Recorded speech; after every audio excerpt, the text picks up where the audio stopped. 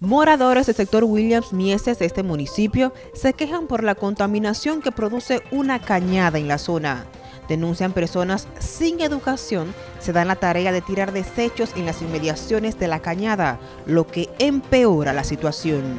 Ahí le hagan mucha basura, los mosquitos, el mal olor, los muchachos se, enferman igual que la gente grande, eh, se enferman todos los que viven a la orilla de la cañada y en varias ocasiones hemos, hemos pedido esa cañada que vengan en auxilio de ella para que la arreglen y las autoridades hacen caso omiso.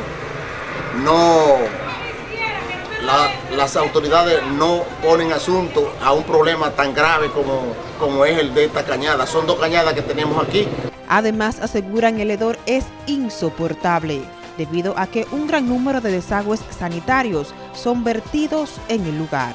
Mire, nosotros comemos y vivimos ahí, pero no tenemos para dónde irnos, pero por ahí tiran de inmundo, de las dos cañadas y de esa. Entonces es un bajo, mire, que no aguantamos. Ese bajo sube y nos inunda todo. Nosotros estamos aquí porque no tenemos para dónde mudar y no nos podemos. Para NTN, Joanny Cordero.